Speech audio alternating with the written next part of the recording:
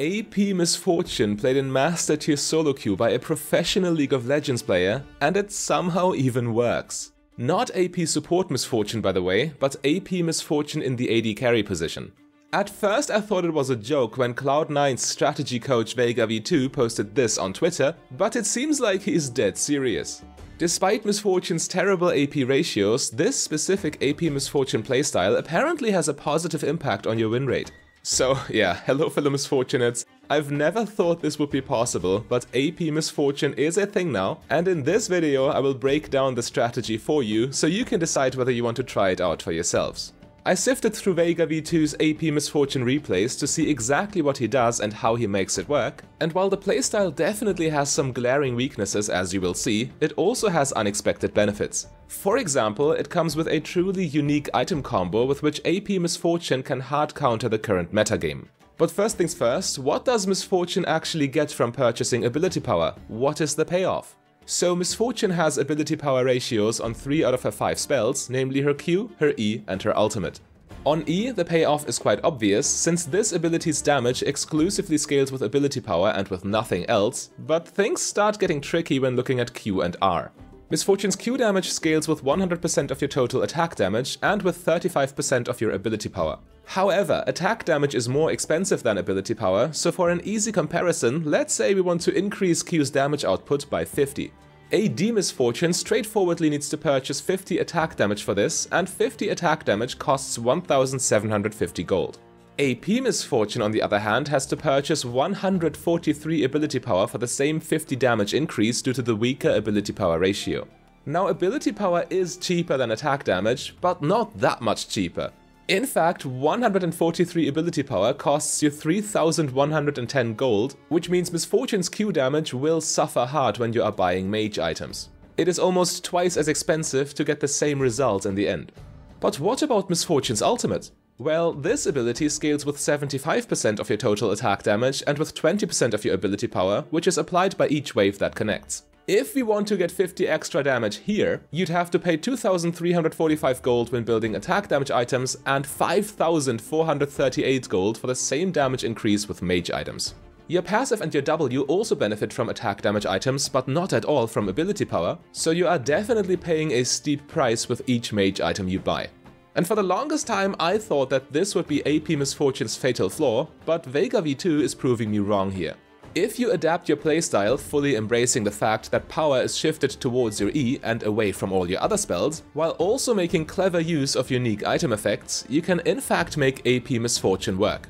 Miss Fortune's E is actually an amazing spell during the lane phase, and with all the mana, ability haste and ability power from mage items, it gets outright oppressive to play against. In this game here, for example, Draven doesn't even get to lane properly, because the poke damage coming from Miss Fortune and Karma is just way too high. An all-in champion like Draven just cannot function properly when he is consistently kept at low health, since health is your most important resource for all-in fights. You will always hold lane priority by spamming Make It Rain in the early game with AP items, and if you use its massive range to your advantage, the enemy won't have any counterplay here whatsoever. So yes, Make It Rain effectively lets you win your lane for free, and by rushing Liandry's Anguish for your first item, Make It Rain suddenly turns into a highly potent sieging tool once lane phase is over. AP Miss Fortune doesn't work because ability power would somehow be good on her. We've just done the math, ability power straight up sucks. Instead it is the unique item effects that are your actual payoff for doing this. Liandry is already a perfect example here, since the burn damage gets applied and reapplied for as long as an enemy is standing in your E or your ultimate, and when they manage to walk out, it still lingers for 4 additional seconds. This damage truly adds up over the course of the game, and due to item effects like this, AP Miss Fortune is highly likely to just top the damage charts at the end of the game despite her terrible AP ratios.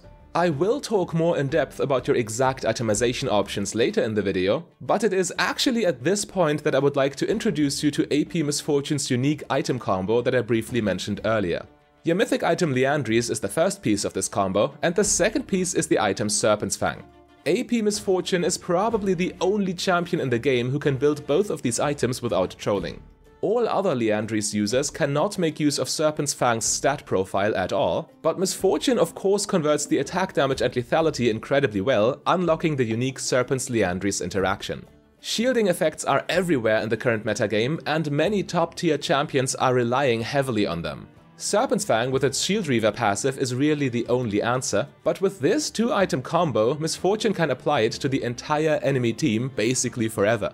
Shield Reaver triggers on literally any source of damage, including Liandry's burn damage. This means hitting an opponent with a spell gives you 7 seconds of shielding reduction on them, since Liandry's burn reapplies Serpent's Fang with every tick, and after Liandry's 4 seconds duration, the effect still lingers for another 3 seconds. You are spamming Make It Rain on multiple enemies on cooldown at this stage of the game, and with all your ability haste, Make It Rain will be ready again before Serpent's Fang even wears off. Let's play a little game here, shall we? Veigar V2 has bought a first item Liandry's into a second item Serpent's Fang against an enemy team with Lulu support and Karma mid for their only shielding champions. And now it is your turn to write a comment and have an educated guess how much shielding the Serpent's Fang Liandry combo will deny in a 40 minutes game. I'll give you the correct answer at the end of the video, so stay tuned. But okay, before we get too excited here, we must also talk about AP Miss Fortune's weaknesses and how you can play around them to minimize their negative impact. Oh, and if this video has been interesting to you so far, please consider taking one second to click the subscribe button, since I have a lot more educational League of Legends content in the making. Thanks. So as I've said, AP Miss Fortune is shifting power towards your E-spell and away from everything else. E is crazy for pushing, sieging and poking, but your all-in damage on the other hand suffers heavily. And I really mean heavily. With lethality or even crit Miss Fortune builds, you are probably used to Miss Fortune's ultimate easily shredding your enemies to pieces. Because of how the math works out, AP Miss Fortune simply cannot do that. I mean, look at this beautiful ult angle right there. For lethality Miss Fortune, this would be a setup for a clean pentakill, but with ability power items your ultimate barely even tickles. The enemy can pretty much just walk out unscratched. In terms of damage output, AP Miss Fortune's R is essentially just a glorified version of Make It Rain. However, since you are not forced to buy pure ability power items and instead choose your items based on their useful unique passives, your ultimates can be quite strong in the late game when you bought some attack damage items too, such as the aforementioned Serpent's Fang for example. So in the super late game, your ultimate can be a little more threatening and the enemy cannot simply walk through it anymore if you have some attack damage behind it. Especially in combination with your strong Make It Rain with its solid AP ratio, your all-in combo will actually be meaningful in terms of burst damage. However, do not make the mistake of overestimating this. Your ultimate is still relatively weak, and especially when you are used to its crit or lethality version, it is very easy to miscalculate and die. Here for example, Veigar V2 tries to go all in with his ER combo, but AP Miss Fortune simply cannot win in situations like these. All-ins must be avoided as you instead want to wear down your opponents over time by spamming Make It Rain. The burst damage is simply not there. Due to that, the opposing AD carry also will outscale you in the very late game. They just have consistently high DPS with their crit items, whereas you have to always play around your E cooldown. AP Miss Fortune's Q and passive are relatively weak, and your W does almost nothing for your damage output. All-in fights will never be in your favor because of this, and you instead have to be patient and bide your time. Compared to all other carries, your burst damage is effectively zero, and if you ignore this piece of advice, you will get killed over and over again. And yes, defensive mage items like Zhonya's Hourglass are quite broken in the right circumstances, but you are still also relatively squishy in addition to having no burst damage. One misstep and you will get killed from 100 to 0 in one rotation. Not fun, don't do it, play to your own strengths, not to your enemies. So yeah, your ultimate might look feeble, but you're effectively a control mage. Stay at max range, spam your E and use your R as a zoning tool or for chip damage.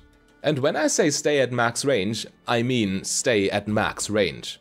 Your E by itself has crazy utility and spam potential and you will be highly useful with it. But you are still an immobile and squishy mage, so if you carelessly walk towards the front line... Yeah, this will happen. Okay, so I guess by now I got the point across that Make It Rain is the central aspect of your playstyle if you want to be successful with AP Miss Fortune. You max this ability first, of course, and while Veigar V2 has been experimenting with Q max second, W max second, and with a mix of both, I recommend that you max Q second for the lower cooldown and leave W at one skill point until last. It is also probably not surprising for you that your best rune page is Arcane Comet, Mana Flow Band, Absolute Focus, and Scorch, with Magical Footwear and Biscuit Delivery secondary. Arcane Comet simply has perfect synergy with Miss Fortune's E, and especially during the lane phase, the added poke damage matters a lot. For the same reason, you also take Scorch, further increasing your poke damage, making your lane phase truly oppressive. Gathering Storm wouldn't be worth it anyway, since your raw ability power ratios are extremely weak for your late game scalings. Absolute Focus gives your E some extra bonus damage in lane, which is why Veigar V2 takes it, but Transcendence is definitely a viable alternative. Now Make It Rain is a super broken spell, only balanced through its enormous mana cost. Therefore you want both Mana Flow Band and Biscuit Delivery, since there's probably nothing more useless than an AP Miss Fortune out of mana. Magical Footwear is a great rune in general, since it saves you 300 gold. Miss Fortune also doesn't need boots early, as you get plenty of movement speed even from just one point in W. So now that we got the runes out of the way, let's look at the most interesting aspect of AP Miss Fortune, which is your itemization. You always start the game with Doran's Ring and two health potions. Doran's Ring obviously increases your poke damage with Make It Rain, and between its built-in mana regeneration and your Biscuit mana, you can already be very trigger happy with your E. On your first base, you want to buy Tear of the Goddess and start working towards Liandry's Anguish. Tear and Liandry components definitely solve all your mana problems forever, so now you can spam all your spells as much as you want. If you don't need a second item Serpent's Fang in a game, you next upgrade Tear of the Goddess to Muramana. Yes, Muramana is essentially the duct tape that holds together this mess we call AP Miss Fortune. Converting all the mana from your runes and your mythic item into bonus AD and on spell damage allows you to get actual value from your other four abilities. The on-spell effect still directly buffs your E damage too, and this item is also another crucial source of ability haste. After upgrading your boots to Lucidity boots, your core build is complete, and now you have plenty of options to choose from and with which you can counter the enemy team composition. You actually only have three viable mage items you should consider, since an item's unique passive or active effect always has to be strong enough to justify sinking money into the ability power stat. Else it just wouldn't be worth it.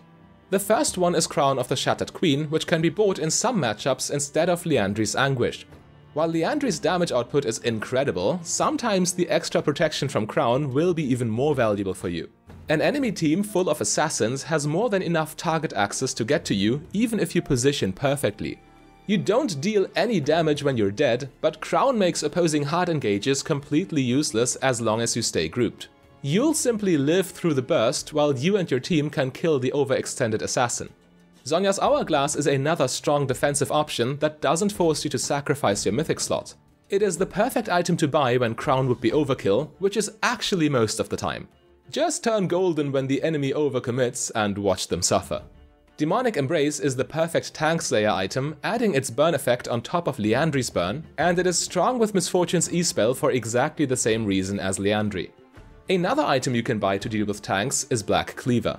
The Armor Shred is crazy for your ultimate, since it still always deals physical damage no matter how many AP items you buy. Your teammates also benefit from Cleaver's effect, so you should be looking for team synergies there. Additionally, this item comes with 30 ability haste, making E-spam even more consistent. Serpent's Fang and Chempunk Chainsword deny shielding and healing respectively, completely countering enchanter compositions. The item Ravenous Hydra is also a consideration since it is your only option for lifesteal. You have zero health regeneration without it, and if the enemy can poke too, you will need some form of staying power. Hydra's passive also adds more damage to your spells while granting valuable ability haste at the same time. Make sure to look at both teams in order to optimally mix and match between all your item options. Since it is very easy to pick the wrong item at some point, this playstyle is highly skill intensive, but also highly rewarding and a lot of fun when it works. I haven't forgotten about our little Serpent's Fang guessing game by the way. So before you click the link on your screen, which will take you to a full AP Miss Fortune game with educational live commentary on my second channel, I want to let you know that Serpent's Fang dealt almost 10,000 damage in the Lulu Karma game. Was your guess accurate?